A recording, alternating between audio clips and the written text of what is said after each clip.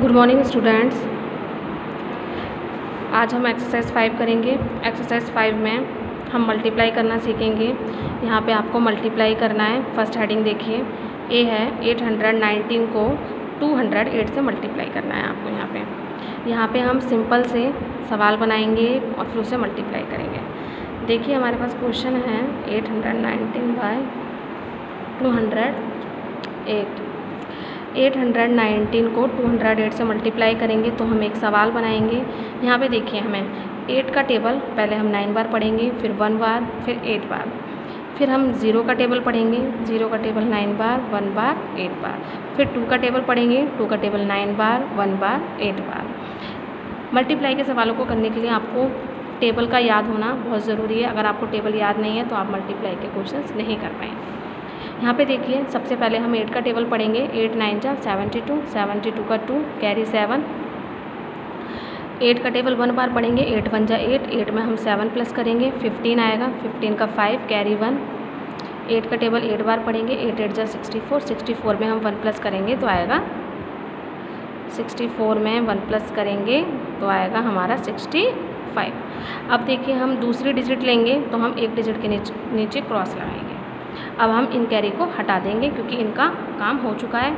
अब ज़ीरो का table nine बार पढ़ेंगे तो आएगा ज़ीरो अगर हम ज़ीरो का टेबल कितनी बार भी पढ़ें तो ज़ीरो ही आता है। अब ज़ीरो का टेबल वन बार पढ़ेंगे तो ज़ीरो आएगा। ज़ीरो का टेबल एट बार पढ़ेंगे तब भी ज़ीरो आएगा। अब हमें तीसरी डिजिट लेनी है। तो तीसरी डिजिट का, तीसरी डिजिट है हमारे पास टू टू का टेबल पढ़ना है हमें। तो हम यहाँ पे टू डिजिट के नीचे क्रॉस लगाएँगे। अब टू का टेबल नाइन बार पढ़ेंगे टू नाइन जा एट्टीन एट्टीन का एट कैरी वन टू का टेबल वन बार पढ़ेंगे टू वन जा टू टू में हम वन प्लस करेंगे तो थ्री आएगा. और टू का टेबल एट बार पढ़ेंगे टू एट जा सिक्सटीन अब हमारे पास ये थ्री नंबर्स हमें प्राप्त हुए हैं, अब हम इन्हें प्लस करेंगे. टू में क्रॉस क्रॉस प्लस करेंगे तो टू आएगा. फाइव में ज़ीरो प्लस करेंगे. फाइव फाइव में एट प्लस करेंगे एट फाइव थर्टीन थर्टीन का थ्री और कैरी वन अब जो हम यहाँ पे ये प्लस कर रहे हैं तो इनका कैरी हम यहाँ पर लगाएँगे, ऊपर नहीं लगाएँगे। जब हम मल्टीप्लाई करते हैं तो हम ऊपर लगाते हैं कैरी लेकिन अब हम प्लस यहाँ पे कर रहे हैं तो हम इसका कैरी यहीं पे लगाएँगे। अब सिक्स थ्री नाइन नाइन में वन प्लस करेंगे टेन टेन का ज़ीरो आएगा कैरी वन सिक्स में वन प्लस करेंगे सेवन एंड वन का वन तो ये हमारा मल्टीप्लाई करने के बाद आंसर इस हेडिंग के आपको ई e तक क्वेश्चन करना है।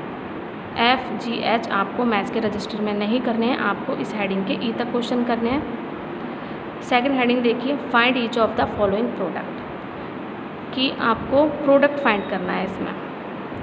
तो प्रोडक्ट का मतलब होता है कि इसमें आपको क्या करना है? मल्टीप्लाई करना है, क्योंकि प्रोडक्ट कब निकल के आता है?